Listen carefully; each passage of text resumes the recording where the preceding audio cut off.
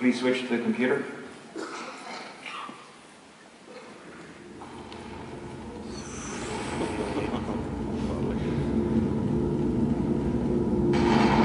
Jävlar vad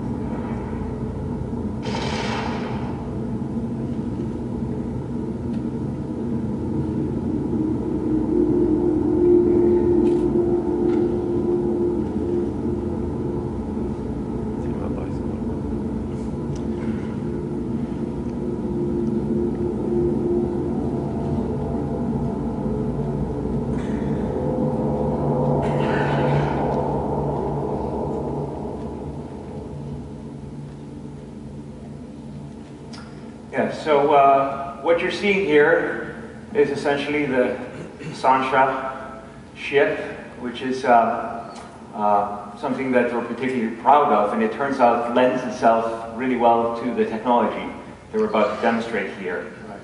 And so, Tony, you probably want to talk a little bit about how this works. Sure. So, um, so what we did is we took the, um, the base assets, the geometry and the normal maps and the textures, um, and then we used a technology called tessellation, which Haldor mentioned, which can actually generate geometry from the base mesh, but it was never actually there in the first place, and it does that procedurally in the hardware. And it generates details that can receive light and cast shadow, which the normal mapping, which Haldor mentioned, can't do because that's just a flat surface. And so as you can see here, if uh, we turn off the tessellation and you look at, say, the silhouette edge against the nebula, that's, that's what that carrier looked like before we went to work, Yeah. right? Now, So, yeah, this is what it looks like current, yeah, I mean, yeah, as you saw it there when we switch it off, this is what it looks like today. And then we switch back on the tessellation, you know, pay attention to the fin where the cursor is, you can see all this detail being generated. So this detail was already there in the normal map, but there was no way for us to generate the actual real geometrical detail, but now we can. Right, to, and give you a little, maybe a little sense of scale of Yeah. what's going on here. Yeah. Let's go ahead and uh, turn the, uh, the wireframe on. Yeah, These are the, uh, the, the triangles, the individual triangles that make up the geometry that is uh, composing the Sansha ship here. But if we turn the tessellation on and we let the hardware generate um, the detail, um, it's a little bit different. Yeah. In fact, yeah, exactly, as you can see, you know, you want that? Um, to give you a, a little flavor for that, there's, um, there's 500 million triangles being generated every second. That's right, 500 million.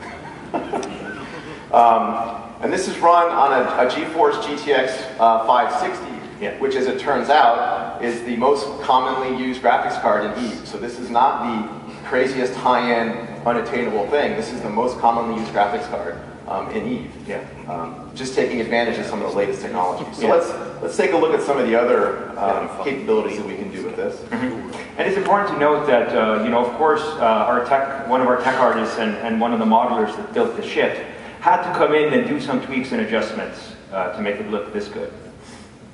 So here uh, you see an asteroid, and what's really interesting about this asteroid is that it actually really looks like an asteroid. and if we would switch off tessellation, or let's switch off shadows first. Yeah, take the shadows off first. Yeah. And you can see the huge difference that it makes to have those shadows and how the contrasty shadows give it a look of an asteroid in space, right? One of the, the cool things about having the tessellation, so let's turn off tessellation Yeah.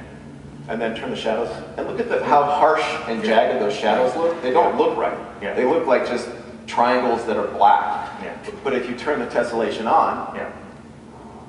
You get all the subtle detail because there's real geometry there to receive light and then cast a shadow just as it would in space. Yeah, it's very important to understand that, that you know, the actual, ge- the actual geometry that we're generating is also taking part in generating the shadow. So the shadows perfectly match. Yeah, so we have, you know, the Ride the Asteroid cam here. So why don't we go ahead and uh, take a look at this one in wireframe, just to give you another sense of just how many triangles here we're generating. Yeah. In fact, there's so many triangles there that it looks almost solid. Again, it's, we're generating hundreds of millions of triangles every second entirely procedurally by the power of the graphics processor.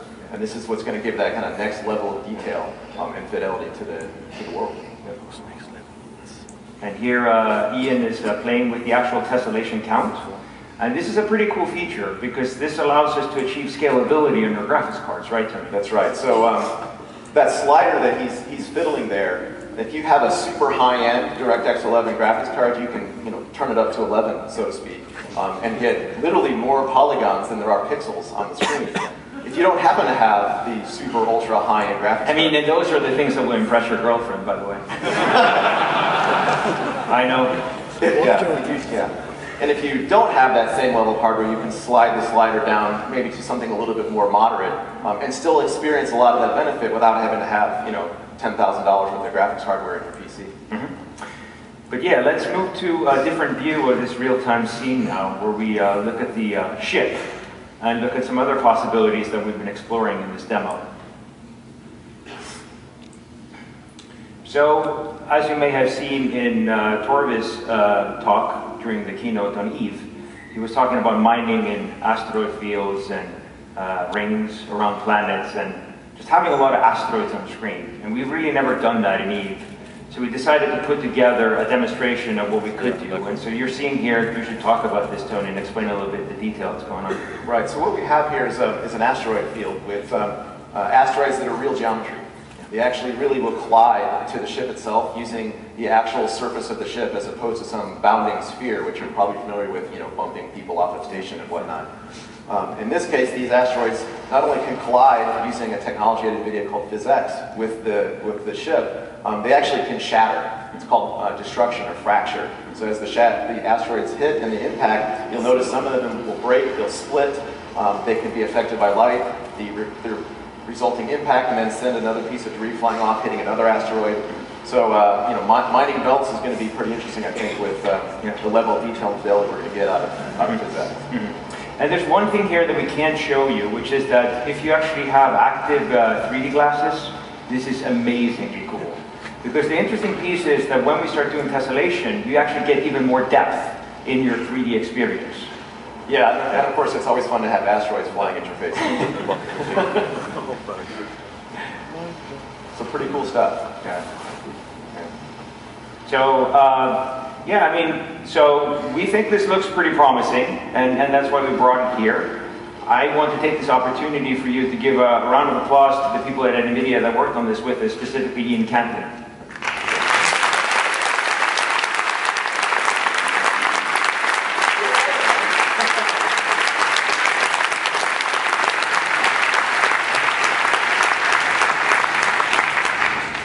So the last piece on this, of course, is, you know, should we do it, right? And to, to talk about that, we kind of need to frame what is it that we would need to do. And doing some calculations based on our experience now building this model, uh, the work of upgrading the engine and then renovating most of the content would equate to be about five man years. So in Scrum terminology, it's the equivalent of one team for a year. So that's the thing that I put now in your hands to form your opinion on, and we'll be watching the forums and seeing how you respond.